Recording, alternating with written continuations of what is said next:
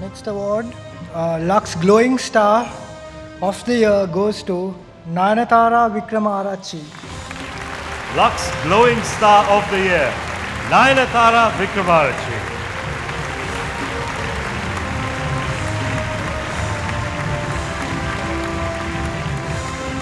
පෙර නොවූ දීප්තිමත් කලෝ එකක් නවලක්ස්.